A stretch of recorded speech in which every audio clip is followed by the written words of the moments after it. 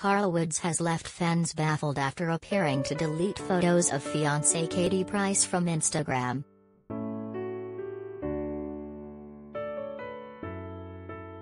According to The Sun, Carl has removed a number of jokey photos of Katie, 43, and himself on holiday on his social media page.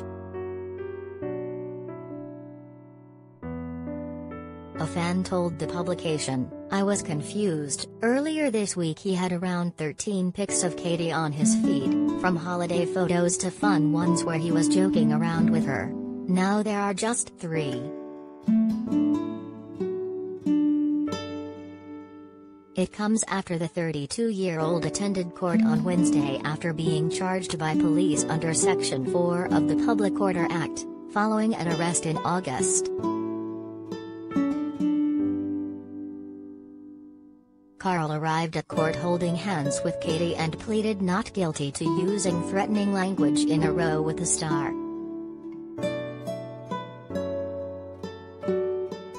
The court heard from the prosecution how Carl tried to force the door open after rowing with Katie.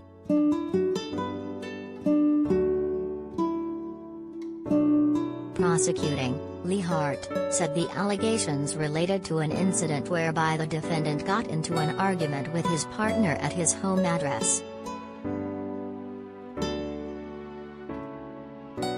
The partner left his address and went to another property.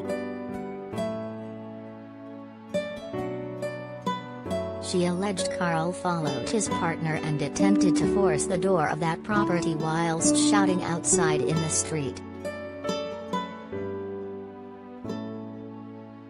The hearing was due to take place on March 10, but was pushed back to Wednesday.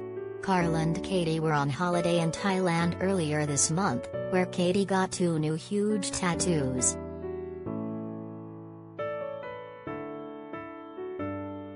A day later, Carl posted a cryptic post about loyalty through a photo on Instagram.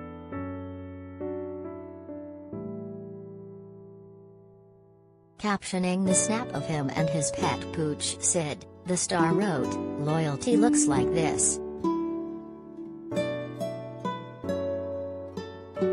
Commenting underneath his Instagram snap with his canine pal, many of Carl's followers dubbed the caption referring to loyalty to be very cryptic.